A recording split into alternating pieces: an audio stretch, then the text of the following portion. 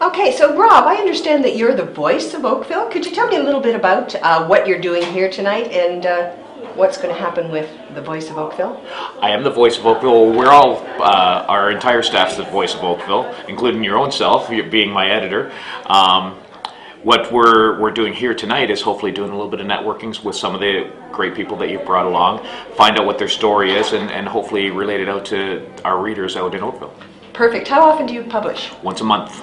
Good. And are you always looking for people that can help you? I'm always looking for new people. I'm looking for salespeople. I'm looking for graphic designers. I'm looking for web designers. I'm looking for writers, writers, writers, and anybody who's creative or really interested in getting their message out. Perfect. How do we find you? You can find me at publisher at ourvoice.ca or you can call me at 905 582 4002. Perfect. Thank you. Thank you.